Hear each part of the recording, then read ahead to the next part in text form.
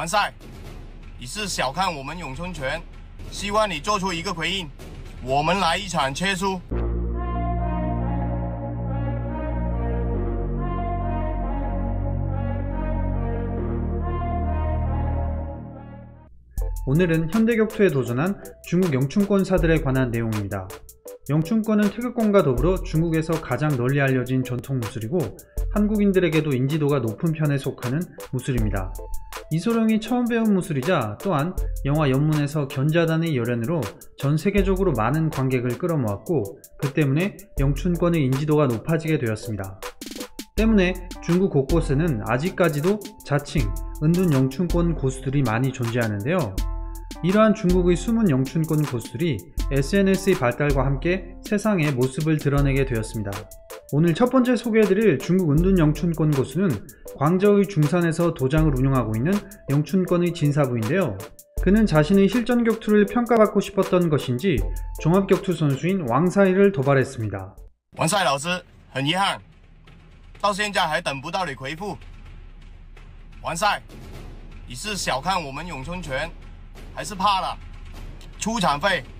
我这边已经准备好了，希望你做出一个回应。我们来一场切磋。 중산의 영춘 진사부는 종합격투가인 왕사이가 영춘권을 과소평가하고 있다며 자신과의 대결에 응답하라는 영상을 공개하였는데요. 물론 영춘권을 비롯한 중국 전통 무술에서 체급의 차이란 존재하지 않지만 왕사이는 영춘 진사부보다 두 체급 정도 높은 체급의 격투가였습니다.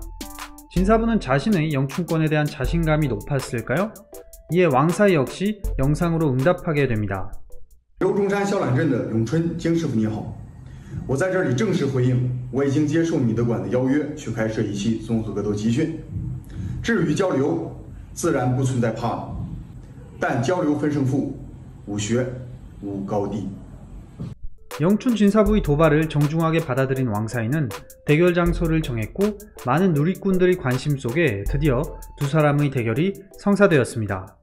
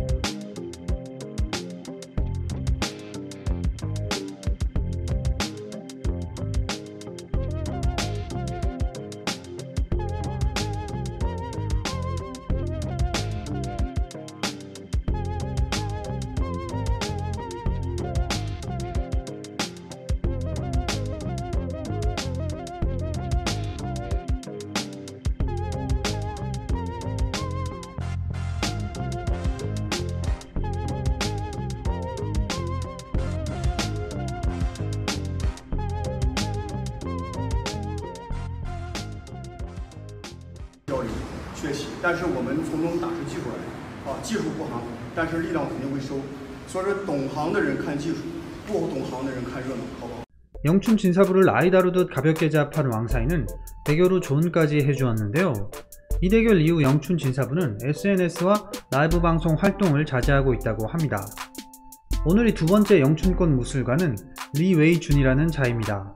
많은 중국인들이 그렇듯이 리웨이준은 이소룡을 종용했고 때문에 그가 처음 배운 무술인 영춘권에 몰두하게 되었는데요. 리웨이준 역시 활발한 SNS 활동을 하며 다양한 격파 시범으로 많은 팔로워를 보유하게 되었습니다.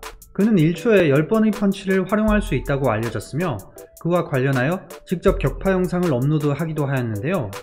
리웨이준의 활발한 SNS 활동에 중국 네티즌들이 그 실전성을 의심하기 시작했고 이에 영춘 리웨이준은 아마추어 복서와 대결하게 되었습니다.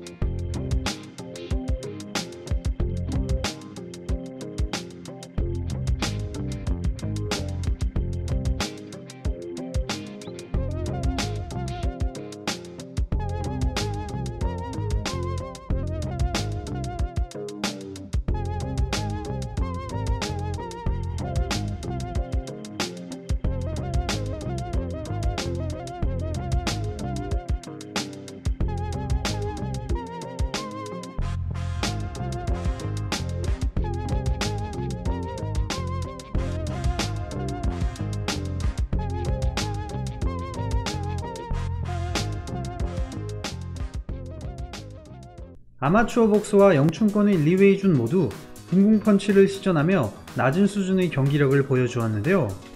시종일관 팔을 휘둘러대는 아마 복서와는 달리 영춘 리웨이준은 가벼운 푸더크로 상대 공격을 회피하는 몸놀림을 보여주었으나 결국 상대의 무차별 공격에 대응이 되지 않으며 패배하고 말았습니다. 앞선 대결과 마찬가지로 강력한 영춘권의 실전성을 보여주지는 못했는데요. 과연 현대격 투가를 제압할 수 있는 은둔 전통무술 고수가 나올 수 있을까요? 오늘 준비한 내용은 여기까지입니다. 지금까지 수석보좌관이었습니다. 감사합니다.